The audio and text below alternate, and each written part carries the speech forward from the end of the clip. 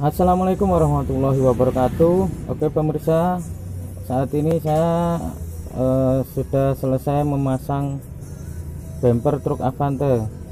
Ya singkat saja ya videonya ini Habis proses pemasangan. Jadi ini saya las ya teman-teman. Ini sesuai permintaan pemiliknya Ini saya las. Minta dilas ya ini teman-teman. Jadi langsung ke bumpernya. Dan untuk bagian di bodi truknya juga dilas seperti ini ya. Sebenarnya ini juga bautan ada sistem bautannya ya teman-teman. Jadi sesuai permintaan pemiliknya ini digabungkan langsung pakai las seperti yang ada di video ini. Oke teman-teman. Beginilah tampilannya bumper truk Avante untuk proses pemasangan hidrolisnya seperti ini ya teman-teman. Jadi dihubungkan ke eh, dihubungkan pada sasis. Eh, ini saya las saya kasih pangkon lalu dibaut. Jadi ini hidrolisnya bisa bergerak. Kita baut ya teman-teman jadi seperti ini cara pemasangannya. Yang depan ini juga dibaut agar bisa gerak ya teman-teman.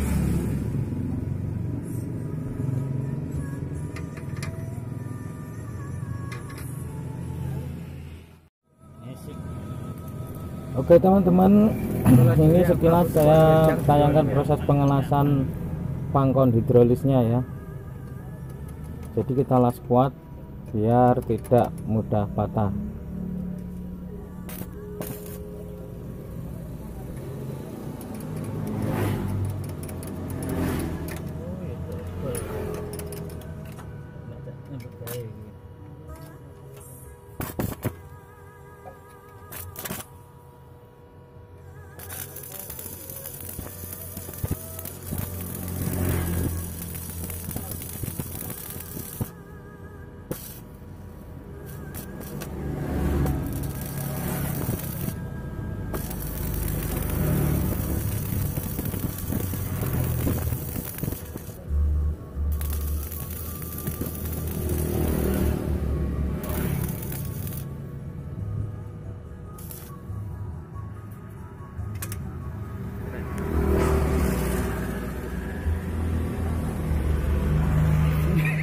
itu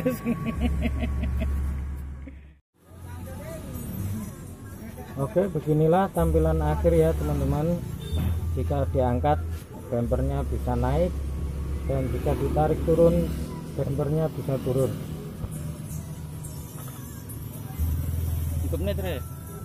Oke teman-teman.